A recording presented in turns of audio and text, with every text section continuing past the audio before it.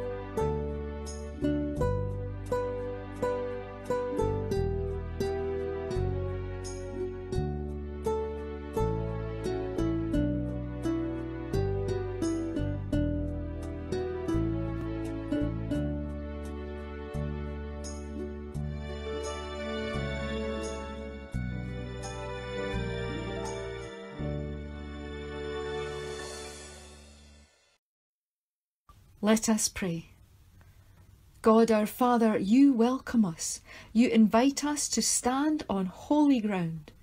You invite us to behold your glory and to look upon your face. We stand in awe in your holy presence and know that you are worthy of all our praise and all our worship. We praise you for allowing us to come into your presence. We praise you for revealing yourself to us. We praise you for the love which surrounds us, the grace which welcomes us, and the mercy which invites us. You are indeed merciful, Father, for without that mercy who could stand? We come into your presence knowing that we have failed you in our thoughts, in our words, in our deeds, and in what we leave undone. Through ignorance, through weakness, through our own deliberate fault, God our Father, we mar your likeness in us. But you offer us forgiveness, without stint or measure, and for this we thank you. God our Lord, give us strength, we pray, to follow more nearly in the footsteps of our Saviour and brother, Jesus Christ, in whose name we pray. Amen.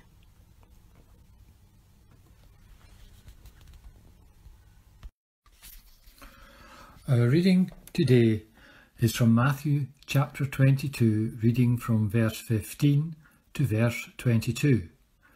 Paying the imperial tax to Caesar. Then the Pharisees went out and laid plans to trap him in his words. They sent their disciples to him along with the Herodians. Teacher, they said, we know that you are a man of integrity and that you teach the way of God in accordance with the truth. You aren't swayed by others because you pay no attention to who they are. Tell us then, what is your opinion? Is it right to pay the imperial tax to Caesar or not? But Jesus knowing their evil intent, said, You hypocrites, why are you trying to trap me? Show me the coin used for paying the tax. They bought him a denarius, and he asked them, Whose image is this, and whose inscription? Caesar's, they replied. Then he said to them, So give back to Caesar what is Caesar's, and to God what is God's. When they heard this, they were amazed. So they left him and went away. May God add his blessing to this reading of his holy word. Do you know what insanity is? Insanity is doing the same thing and expecting a different result. Or to put it another way, if you do what you've always done, you'll get what you've always got. You'd think the Pharisees would know that they couldn't get the better of Jesus in a war of words. In fact, the only thing they ever achieved was that they became more angry and frustrated. But failing doesn't stop them trying again. And today we see them asking a question which they thought would put Jesus in a lose lose situation. But perhaps not surprisingly, Jesus manages to turn it around into a win win for him. On first hearing, it seems a straightforward question. We have to pay our taxes, don't we? The problem for Jesus facing this particular group of people was that there was no right answer. The coin in question bore the image of the Roman emperor, and the inscription on it referred to the emperor as the son of divine Caesar Augustus. For a devout Jew, to pay tribute to someone who claims to be a deity would be deeply offensive and indeed blasphemous. And Jesus would lose all his credibility as a rabbi if he advocated it. However, if Jesus says that it's unlawful to pay taxes, although the people will be pleased, Jesus would then be liable to be arrested by the Romans. It was, as you would expect, illegal not to pay taxes to Rome. In other words, if Jesus said, don't pay your taxes, he'd be in trouble with the law.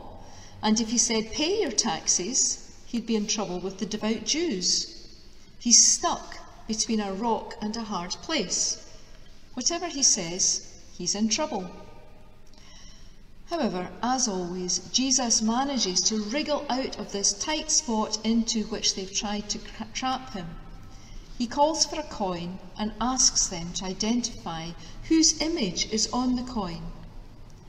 When they identify the emperor's face, Jesus replies, Give therefore to the emperor the things that are the emperor's, and to God the things that are God's.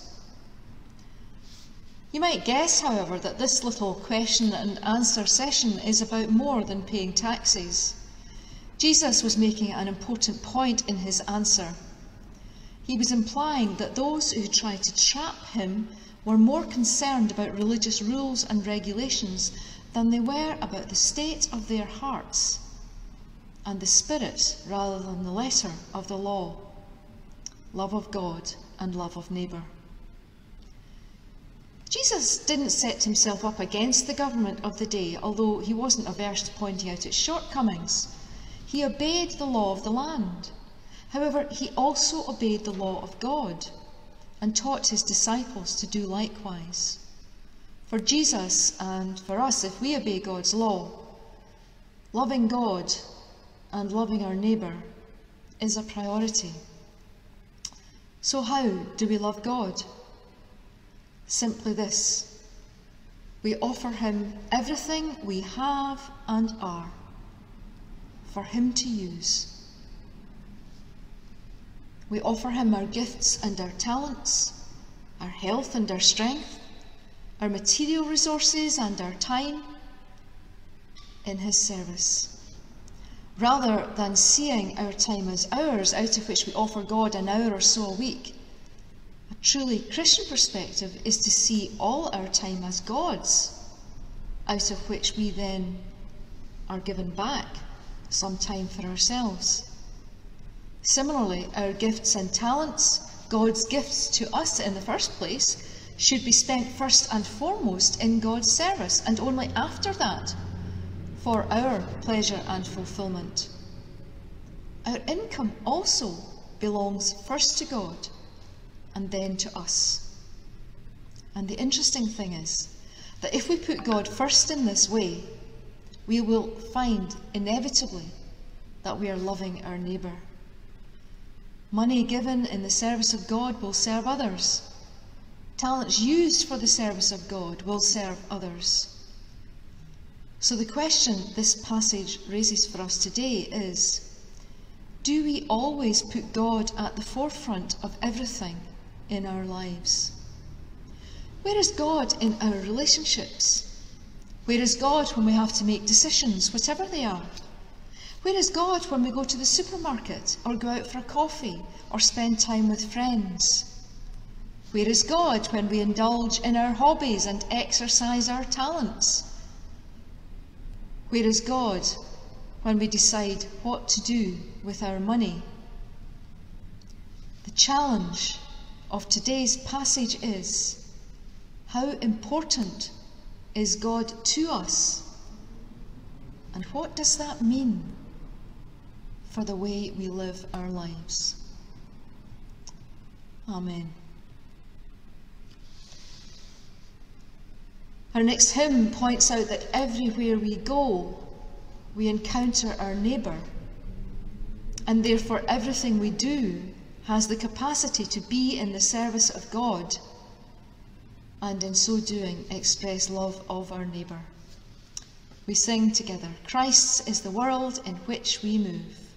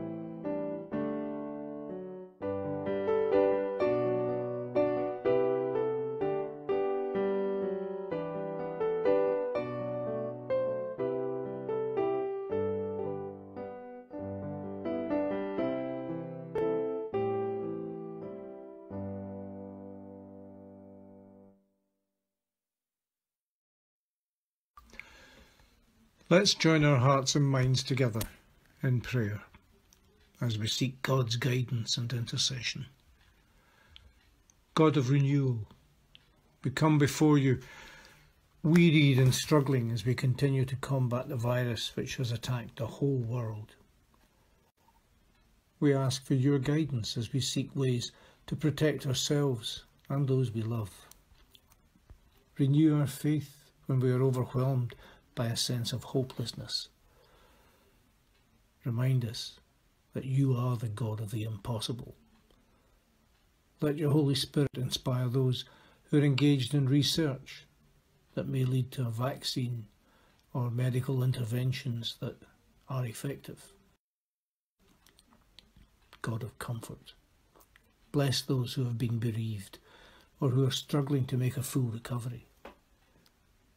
Build them up as they try to overcome the physical, mental, and spiritual difficulties they may be facing.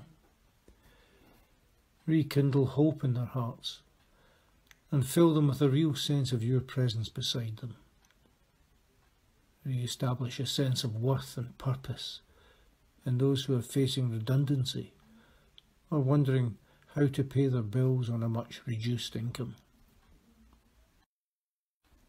God of wisdom, inspire our politicians and leaders as they attempt to steer us through such difficult times.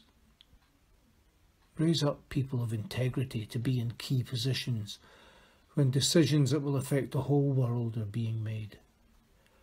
Protect us from those who would seek to advance themselves or their own interests at the expense of others.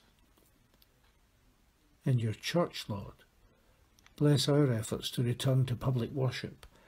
Inspire our thinking as we seek ways to honour you that might be very different from what has gone before. God of love, help us to remember those who are persecuted. Draw them close to you as they struggle to survive against discrimination, violence, and prejudice. Strengthen them as you've strengthened others through the centuries. We remember all those who are victims of violence or discrimination of any kind. Bring peace into their hearts through the power of your Holy Spirit. God of compassion, stretch out your healing hand to those we know who have been bereaved are in hospital, are sick, or are in difficulties of any kind. In the silence, we bring them before you now.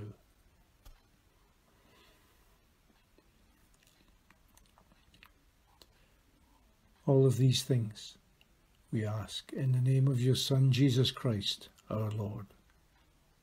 Amen.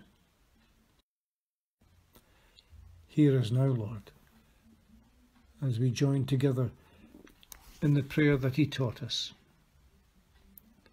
Our Father, who art in heaven, hallowed be thy name. Thy kingdom come. Thy will be done on earth as it is in heaven. Give us this day our daily bread, and forgive us our debts, as we forgive our debtors and lead us not into temptation, but deliver us from evil. For thine is the kingdom, and the power, and the glory forever. Amen. Our closing hymn this morning is a hymn that we have sung often before, and it's a mission statement. It's a mission statement about taking the love of God and extending it to everyone we meet. Let us build a house where love can dwell.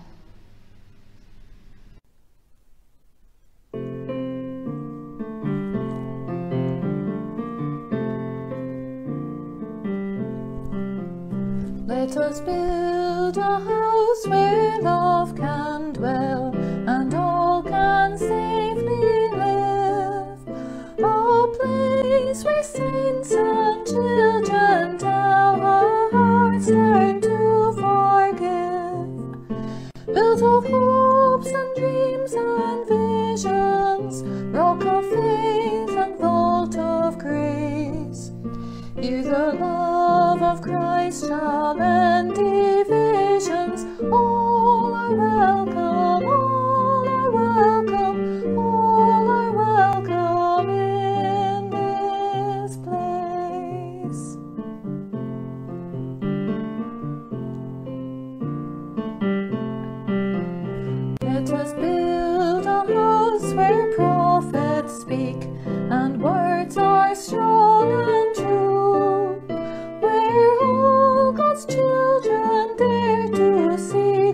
to dream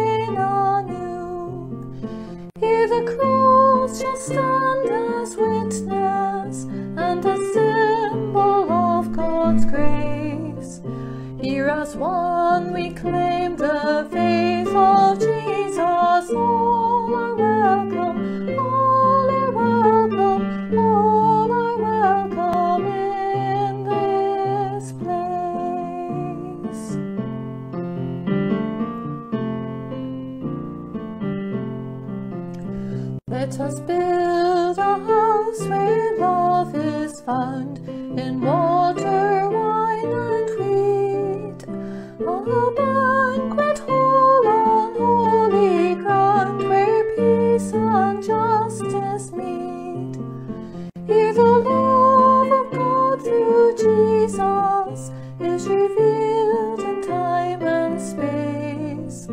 As we share in Christ the feast that frees us, all are welcome, all are welcome, all are welcome in this place.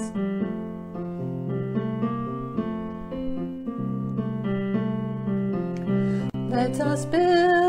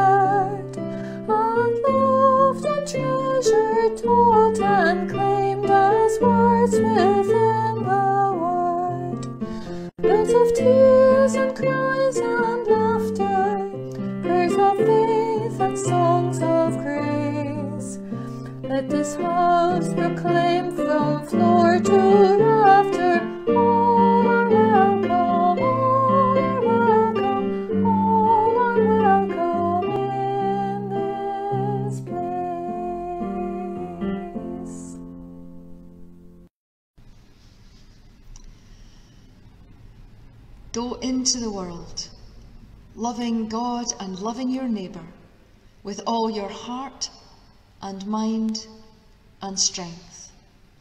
And may the blessing of God Almighty, Father, Son, and Holy Spirit be with you and remain with you now and forevermore. Amen. That's the end of our service for today. Um, but please remember, if you would like to come to worship in the sanctuary next week, book a place with Margaret Tyndall. Please remember that next Sunday is our harvest service. And please remember to put your clocks back. If you would like to attend worship in the church building on Sunday, October the 25th, please contact Margaret Tyndall by noon on Friday, the 23rd of October. You can reach Margaret by phone on 01360 310 911 or by email on margarettyndall23 at talktalk.net. Sincere thanks to everyone who took part in today's service. Our music was provided by Sheila Jones. The Bible was read by David Irving, and George Kelly brought us our prayers of intercession. Thanks as always to Robert Nielsen for his help and advice on technical matters. And thank you for joining us and being part of our online service of worship. May God bless you.